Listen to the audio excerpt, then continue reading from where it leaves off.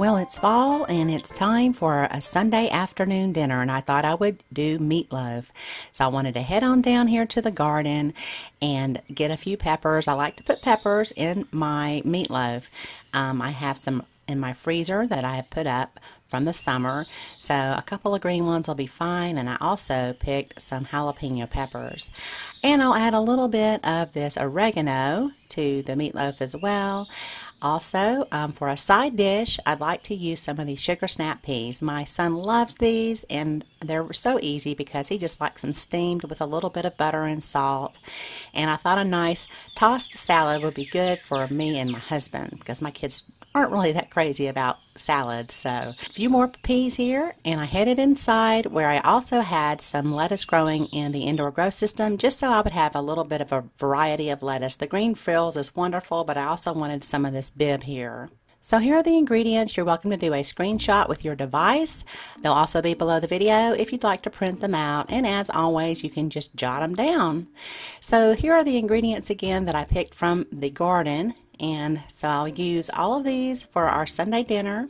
And I'll just start by preheating the oven. So I'll take my bread and I chopped it so that I have some big pieces and some little pieces. It might seem like a lot of bread, but I am making a big meatloaf. I'm using four pounds of beef. Okay, so here are my peppers and my onions, and then my jalapenos as well.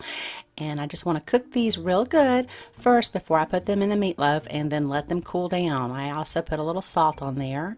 And now for my eggs and my buttermilk, along with the salt and pepper, the oregano, some Worcestershire sauce, and the minced garlic. And I'll give these a good whisk until everything is combined and all those yolks are broken up into the mixture.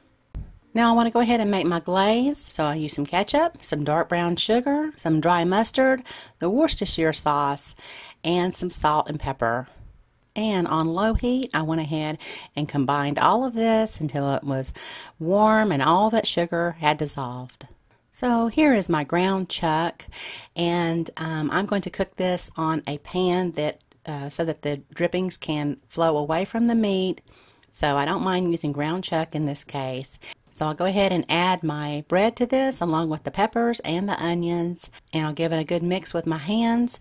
But I don't want to squeeze it and press it together. I'm just trying to break it up with my fingertips, uh, just so that all of that bread and the peppers get worked um, into the meat so that it kind of looks like there's little pieces of meat and little pieces of bread.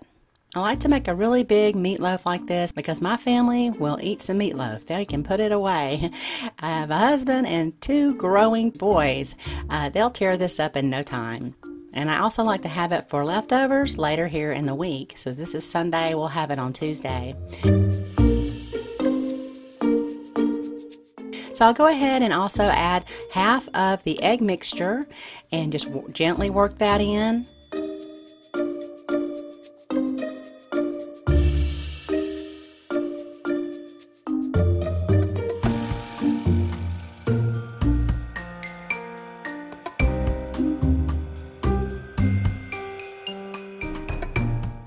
Again, I'm not squeezing everything together. I'm just keeping it nice and loose.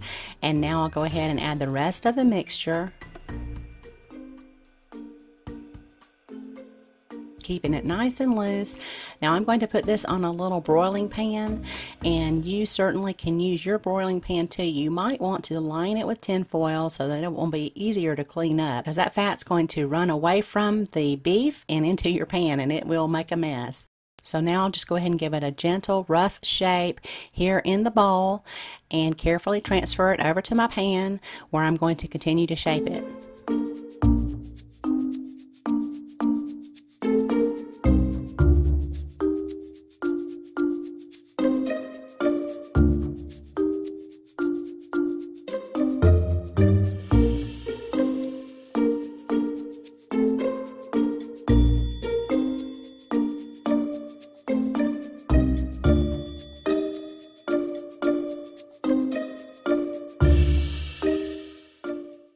You'll see it's kind of falling apart a little bit. At this point, I'll just kind of squeeze it just a little bit, especially there on top, to kind of seal it up.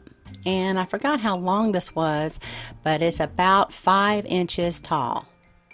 So I just tried to make sure that it was the same depth all the way across. It'll cook more evenly that way. Just smooth it out a little bit so that it doesn't fall apart while it's cooking.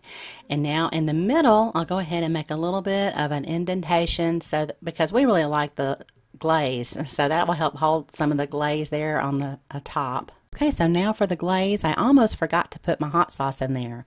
So in it goes, and I just mixed it in real good there. And I'll just go ahead and smooth the outside of the meatloaf with the glaze. And now for the fun part, we're going to use some bacon on here. So as this cooks, a lot of that grease is going to drip down into the pan. And so now I want to just kind of weave it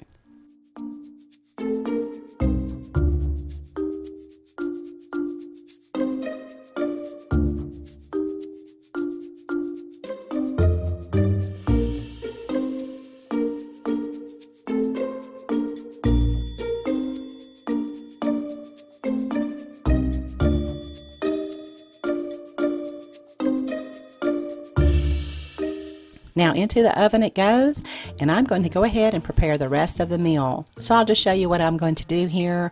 I won't go into a lot of detail, but I threw together some macaroni for some macaroni and cheese casserole, and that will go in the oven too, so that'll be easy.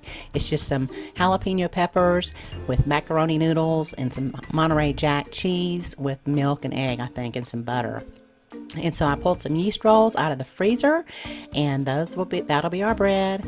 And then of course the sugar snap peas.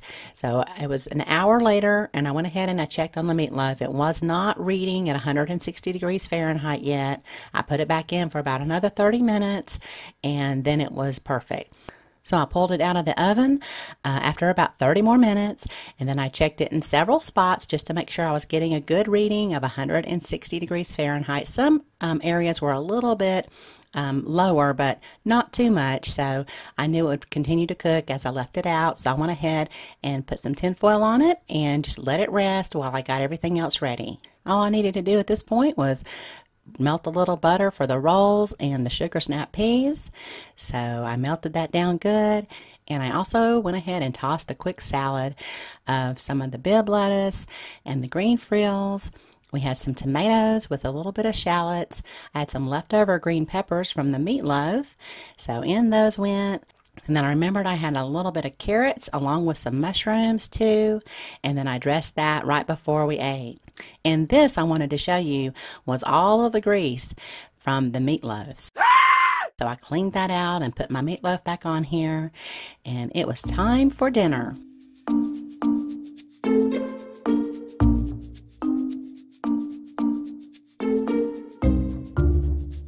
It was so moist. My family says this is the best meatloaf they've ever had. So um, there you go. I, I, thought, well, I'm going to definitely have to do a video on this. We really like all the peppers in it.